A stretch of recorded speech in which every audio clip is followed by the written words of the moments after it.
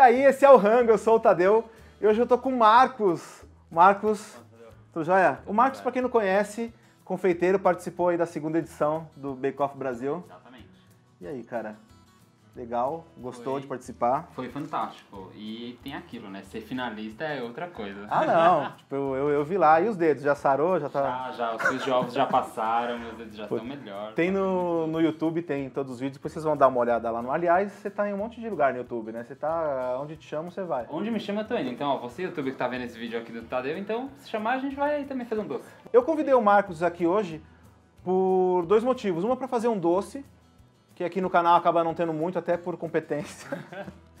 Mas, pô, um doce legal, bem feito, com as medidas, tudo certinho, super fácil, né? Porque às vezes fica com essa coisa de confeitaria, é muito complicado. Tem uma parte que é muito exata e também tem uma parte que dá pra tirar uma onda também, né? Não, dá sim. Acho que assim, se você souber seguir uma receita e interpretar ela da melhor maneira possível, você é capaz de fazer. A gente vai fazer um doce e outro. Ele vai fazer um doce. Eu pedi para ele fazer um doce inspirado lá em Nova York. Quem acompanha o canal sabe das viagens. O cenário tem um monte de coisa. É um lugar que eu adoro. A gente vai fazer um cheesecake de Nova York, original. Original, assim.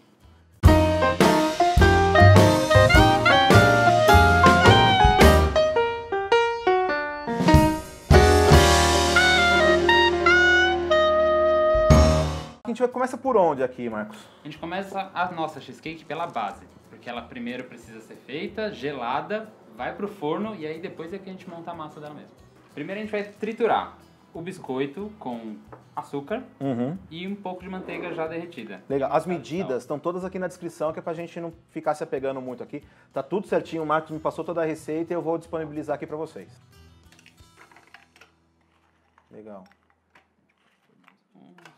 E aqui a gente vai usar para fazer a cheesecake aqui uma base, uma forma de 17 centímetros. Tá.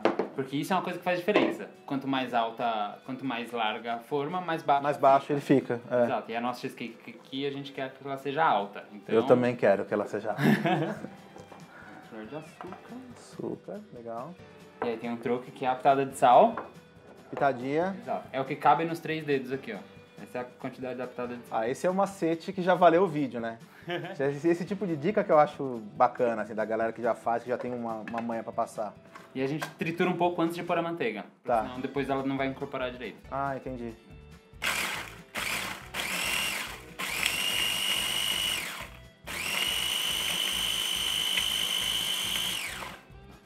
Aí deu uma trituradinha, Triturada, coloca um pouco da manteiga. tá. Aí estão as seis colheres, Tá. E aí, na verdade, você vai colocar um pouco. E você vai ver que talvez ela Tá. seja menos do que entendi. isso. Porque Entendi. depende da- do dia, tem dia que tá mais úmido, da qualidade da bolacha, assim diante. E aí você volta a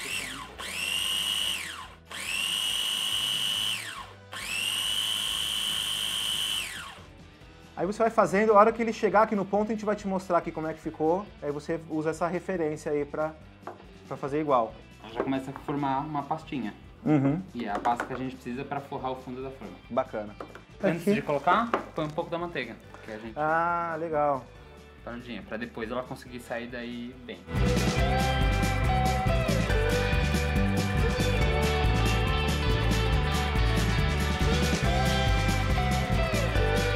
Normalmente as pessoas amassam com o dedo e tudo, Eu. e aí... É, E o que acontece? Fica o formato. fica. Então se você usar um copo e Legal. usar o fundo do copo, ela fica lisa.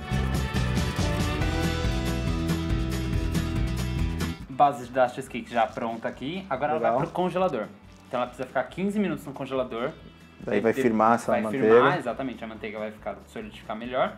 E depois desses 15 minutos no congelador, ela vai 15 minutos pro forno a 180 graus. Legal. Tipo, tira de um e enfia no outro de uma vez. Bacana. Então vamos lá, colocar isso aqui no congelador, depois no forno e a gente volta com ela preparada aí para continuar a receita. Voltamos aqui agora para fazer a massa aí, né, da nossa cheesecake. Exatamente. E aí tem um truque aqui que tem que é muito bom. Que é, não sei se já ensinou no canal em alguma outra receita, mas que vale a pena. Normalmente a cheesecake a gente usa sour cream. Que é uma Uhum. coisa que no Brasil a gente não tem um costume. Creme de leite fresco e limão. Isso. Então aí você deixa o creme de leite fresco gelado, né? Não precisa estar congelado nem nada para ponto Tá. de chantilly. E mistura ele com suco de limão e bate.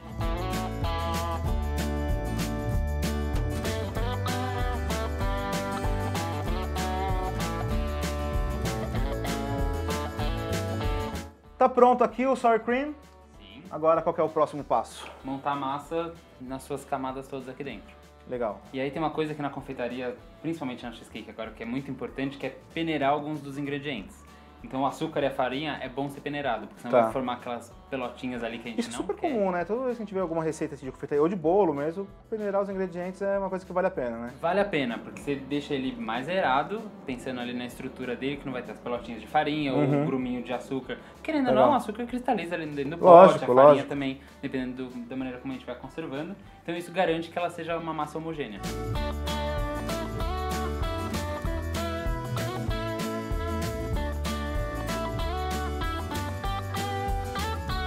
Bom, agora a gente vai começar a colocar na batedeira ali. Aqui já tá tudo na medida que você passou, já tudo preparado. Pessoal, a receita tá toda na descrição certinho, então assiste com calma para você aprender.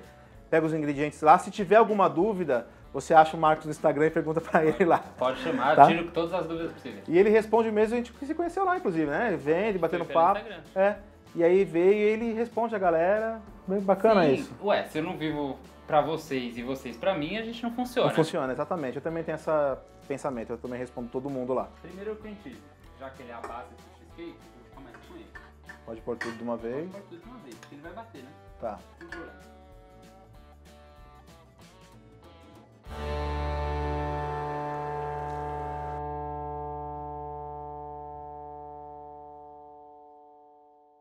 Aí vai colocando meio que aos poucos cada coisa, vai dando uma dividida aí, né?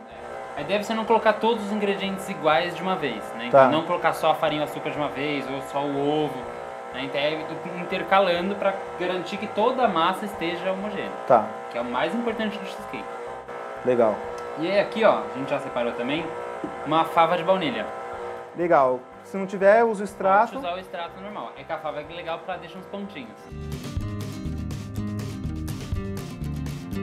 Então já tá aqui a nossa massa que já resfriou, já assou, já voltou Já pra assou, cá. Esfriou, ó, tá durinha, isso que é importante. Legal. Ela já vai pronta com a cheesecake pro forno. Massa pronta, lá no começo, quando a gente começou a fazer a receita, sobrou um pouco de manteiga do biscoito triturado. Isso. Então eu pego ele e passo na lateral da forma. Legal. Pra cheesecake depois conseguir desenformar bem.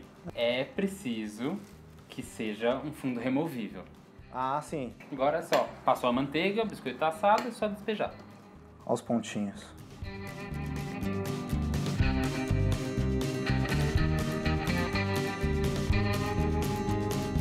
Pronto. Pode colocar direto pra assar? Ainda não. Hum, quase. não, calma. não, não leva direto. Porque essa cheesecake tem que ser assada em banho-maria. Então você vai esquentar a água, porque você vai ferver essa água. Tá. E aí você vai colocar numa forma maior do que aonde você vai encaixar. Certo. É, onde tá a cheesecake mesmo. E precisa ser pelo menos até metade da forma. Tá. Porque ela vai ficar muito tempo lá no forno, essa água começa a evaporar, mas aí não precisa repor. Por isso que a gente colocou esse papel alumínio isso, em papel volta. alumínio também, inclusive. Tá bom. Pelo banho-maria e porque como ela é de fundo removível, pro recheio, sei lá, não vazar, né? Não vazar. Garantias. Perfeito. É, então agora a gente vai preparar o banho-maria, colocar aí na altura certa, com toda essa dica aí que o Marco já deu, e a gente volta com ela pronta para mostrar para vocês e aí a gente conta o processo aí como é que foi. E chegou a hora que a gente estava esperando, ficou pronto o nosso cheesecake, e tá bonito, ficou altão, hein? Altão. Que essa é a proposta do cheesecake original. Que ele seja Pô, alto. Muito legal. Por quê? Porque ele não tem cobertura. Vamos experimentar agora isso para ver como é que ficou? Vamos lá. Que rufem os tambores.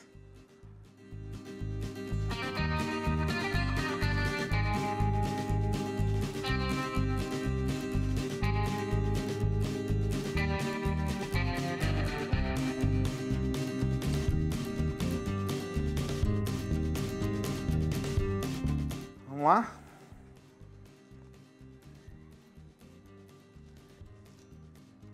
Hum. Cara, tá incrível. Tá muito bom. Hum. Nossa. Ela fica bem cremosa. Uhum. Porque é do longo tempo que ela fica no forno. Então vamos, vamos repassar os tempos dela. Assim que você colocar a água quente do banho-maria, você vai colocar ela no forno 180 graus por 45 minutos. Deu esses 45 minutos, você diminui o forno para 160 graus, deixa mais 30 minutos. E aí você vai, você vai perceber, passou esse tempo, você vai perceber que o meinho dela talvez ainda esteja um pouco mole. Tá Tá. perfeito. Então você pode dar uma chacoalhadinha na forma assim, Uhum. que a lateral vai estar assada e o meio um pouquinho mole. Então você fecha o forno e deixa ela lá dentro por mais uma hora. Passou essa uma hora, você tira ela do forno, ela ainda vai estar morna. Você deixa esfriar completamente e deixa mais 6 horas na geladeira. É isso aí. Mas assim, seis horas na geladeira, ela vai ficar lá quieta, você faz outra coisa, não é uma coisa também que vai te atrapalhar Não, demais. nenhum. Você não precisa ficar olhando, né, pra ela durante... E pode ser de um dia pro outro, tranquilamente. Você pode, essas seis horas é no mínimo seis horas, No né? mínimo 6 horas. Então Tá. você faz um, um Faz dia antes. sábado à noite, que pro almoço de domingo é sucesso. Hum, cara, muito boa. Melhor do que comi lá na Cheesecake Factory. Certeza. E nem precisa de cobertura. Nem precisa de cobertura. A gente, tinha aqui umas frutinhas pra colocar. Não precisa, tá excelente. Muito boa mesmo, valeu muito a pena. Que bom. Cara, sensacional. Seu Instagram qual que é? Fala pra galera. Tá aqui embaixo na descrição. E Marcos Bake Off 2. Continua seguindo aí. É isso aí. todos. Agradecer de novo, Marcos. Obrigado de verdade. Obrigado o Alex que tá aqui também. Valeu. Galera, esse foi o Rango. Não é inscrito, se inscreve, acompanha a gente nas redes sociais. Um abraço, valeu.